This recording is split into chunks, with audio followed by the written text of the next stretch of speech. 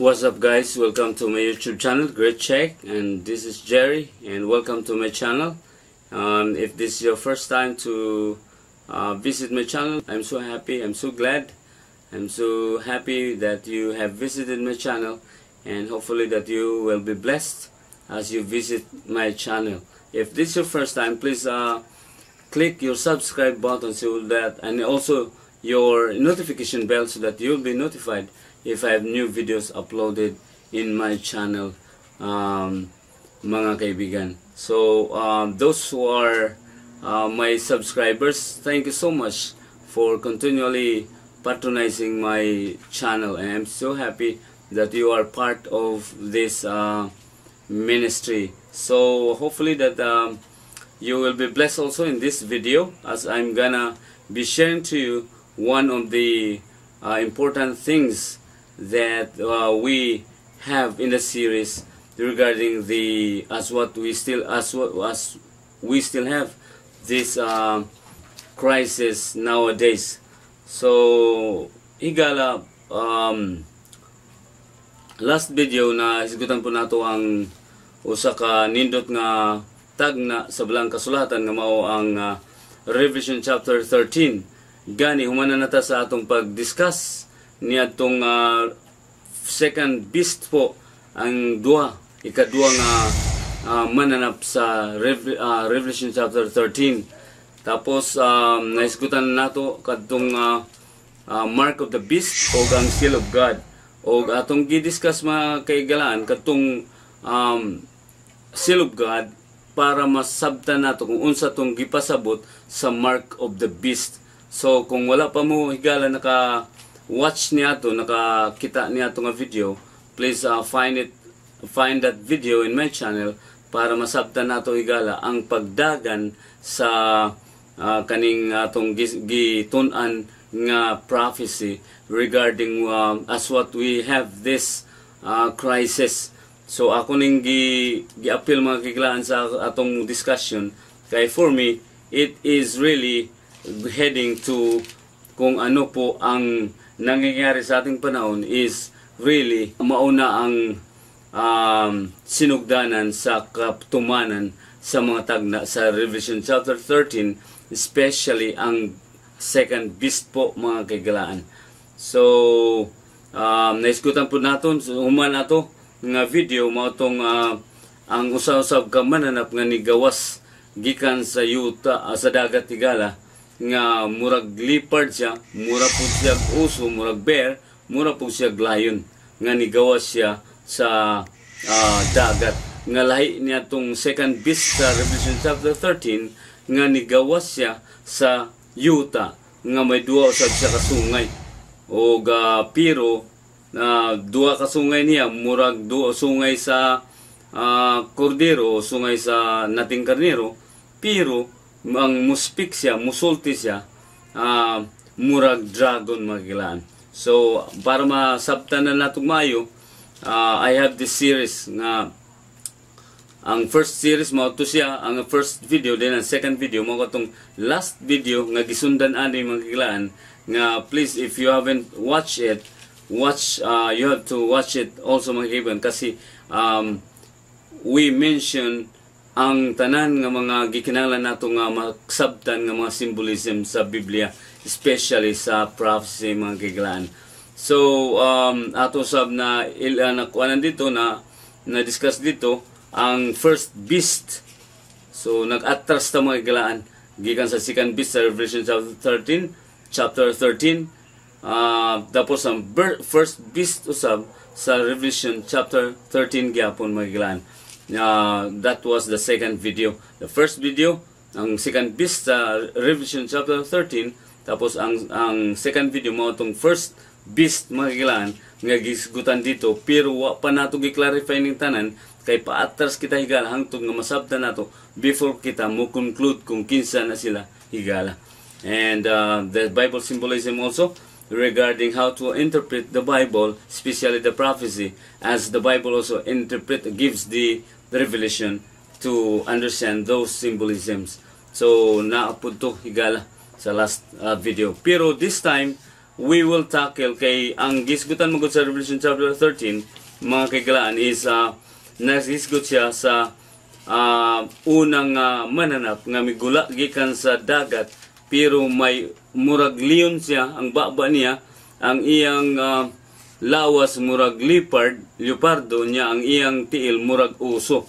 Kung imo tunon higala may kaanggid siya may kapariya siya sa Daniel chapter 7 nga kining Daniel chapter 7 kaglaan naghisgot ni siya sa pananawon ni Daniel sa diyang gipakitaan siya sa Ginoo og pananawon og uh, iyang nakita siyang pananawon magiglaan ang upat ka mga buhing mananap nga migawas gikan usab sa dagat so sa last nga video naiskutan nato ang ang dagat mao dito ang kaning um, peoples, multitudes, tongues, and nations. So, buot pasabot katawhan ni Gala. Nga buot pasabot kini as what we had in our last video, ang Bible symbolism nga kining mga mananap, mao kining mga kingdoms, mga gingharian, powers. Uh, I will show it on the screen mo sa pagkakaiban. Basig wala mo ka visit ato kung unsay buot pasabot niya ni. Mausab katong Revelation chapter 13 usab nga mga beast mga gigilaan.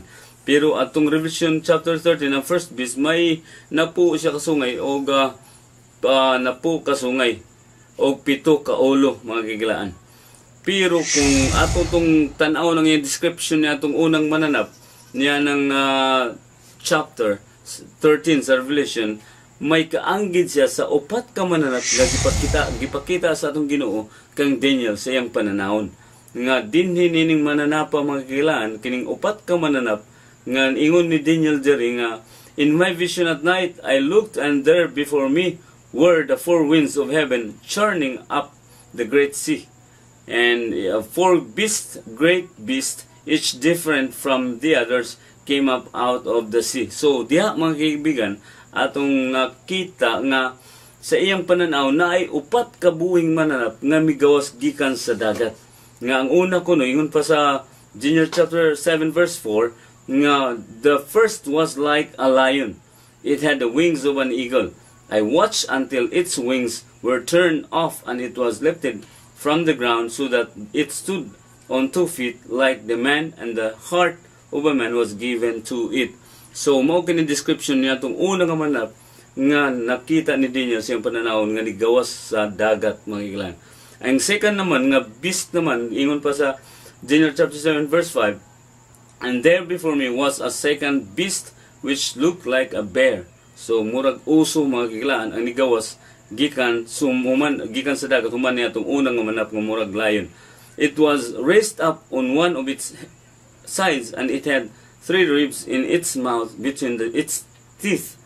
Uh, it was told, get up and eat your fill of flesh. So, mao katong second beast nga kung imo may numduman magkilaan na itong first bit sa Revelation chapter 13 nga ang una na siya lion nga baba niya ang iyang uh, iyang lawas murag leopard uh, ka, ang tiil niya uso niya ang iya lawas ni mga kiglaan murag leopard mao ning ikatulong nga beast nga gipakita sa Dios ngadto kang Daniel sa verse 6 sa Daniel chapter 7 After that I looked, and there before me was another beast, one that looked like a leopard. On its back it had four uh, wings like those of a bird. Those of a bird, this beast had four heads. It was given authority to uh, rule. So, ang third beast nga nakita ni Daniel is murag leopard siya nga may uh, mga pako sa iyang likod niya nga murag langgam niya uh, na ay upat ka ulo mga kilan. So, mao kana ang third beast nga nakita ni Daniel.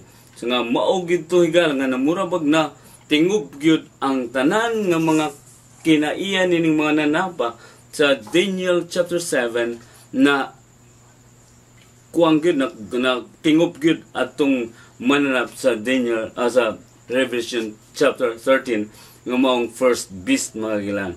Ang fourth beast naman diri nga giskutan ni Daniel Siyang pananaon, verse 7 of Daniel chapter 7, After that, in my vision at night, I looked, and there before me was a fourth beast, terrifying and frightening and very powerful. It had large iron teeth. It crushed and devoured its victims and trampled underfoot whatever was left. It was different from all the former beasts and it had ten horns. So yun mao to mga kiglaan ang ikaupat nga manap nga lahi sa ubang nga tulo nga kamananap nga gisundan ani tungod kay lahi gid siya ingon pa ni Daniel tungod kay dili masabtan kung ano nga unsang klase sa manap kung inyo itong ining basahon magilaan sa Daniel chapter 7 nga lahi siya sa ubang mananap gani may kuan siya large iron teeth iron teeth and it crushed and devoured its victims and trampled underfoot whatever was left. You know, naapod ni siya na po kasungay mga kilaan. And ingon pa ni Dennis the verse 8 sa chapter 7, while I was thinking about the horns, there before me was another horn, a little one, which came up among them, and three of the first horns were uprooted before it. This horn had eyes like the eyes of a man and mouth that spoke boastfully. So sa diya nga nagtanaw si Daniel makikilaan sa na po kasungay ni ikaupat nga mananap uh, naayon nito nga nga gamay nga sungay. Pero sa pagtunga niya makikilaan nahulog ang tulo ka mga sungay niya tong napo kasungay ug unya kaning gamay nga sungay ning gawas naa siya mga mata. Ingon sa mga mata sa mga tao o aduna siya baba nga managpangandak sa mga dagkong butang mga gilaan. O uh, kung ato ning tun-an kung unsa ning mga mananap nagaingon dir sa uh, so what I said also in the last video nga kining upat ka manap ingon pa nga sa verse 17 sa Daniel chapter 7 the four great beasts are four kingdoms that will rise from the earth. Oh mo na siya gala nga kadto ding upat ka mga mananap nga migawas gikan sa dagat uh, upat amo toy upat ka mga mananap upat ka mga gingharian nga mugawas gikan sa yuta. So, siya nga mga napigala, kay nigawas man siya sa dagat, ang dagat kahulugan o peoples, multitudes, nations, and languages. Buot sabot, adunay panig-away magigilaan sa mga tao para mo raise ning upat ka mga mananap mga kaigalaan.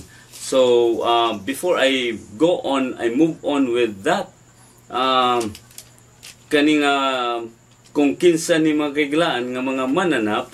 So let me uh, have first kaning um, kaning usak ka damgo usab ni haring ni King Nebuchadnezzar magiglaan nga maoy kaning uh, Daniel chapter 7 kuha naman siya um, gi gi klaro na gid din maayo kung unsa ni nga mga mananap magiglaan uh, kung ako ning i-clarify ninyo, um, ti, uh, naagi ni siya haom gyud nga naitabo sa history mga kaigalan. Before I do that, let me discuss first ikaning Daniel chapter 2 mga kaigalaan nga naghisgot ni siya sa damgo ni King Nebuchadnezzar. Nga kini usab nga gingharian mga kaigalaan naghisgot usab kini nga may um, na naghisgot usab kini gala sa upat usab ka mga metals sa iyang damgo.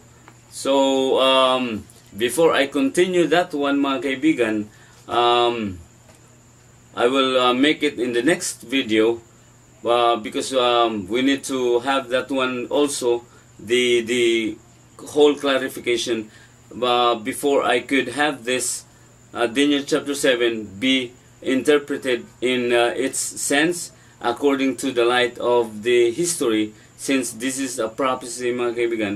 So there is there should be something that we need to clarify in the light of history uh, para masabtan nato igala kung unsa ning gipasabot aning Daniel chapter 7 nga mga mananap mga iglan so if you haven't subscribed yet uh, please subscribe now so that you will be notified for the next video that I will uh, be making mga kaibigan so that I could share that one also since I have to also uh, share with you ang Daniel chapter 2 usab mga gilan before I can move on with the Daniel chapter 7 since uh, this is also a great prophecy mga kaibigan, mga, mga kaibigan nga talagang to the letter natutupad po na it was fulfilled to the letter mga kaigalaan. Pero I also want to share with you ang Daniel chapter 2. So I will make it, we'll make it, we'll study that one in the next video. So if you haven't subscribed yet, please subscribe now and click your notification bell so that you'll be notified if I will upload, if I have uploaded a new videos, um, especially for this series mga kaigalaan. So um, thanks for watching, thank you for um, visiting my channel and we'll see you in the next video. Bye everyone, thanks for watching. Have a nice day and God bless.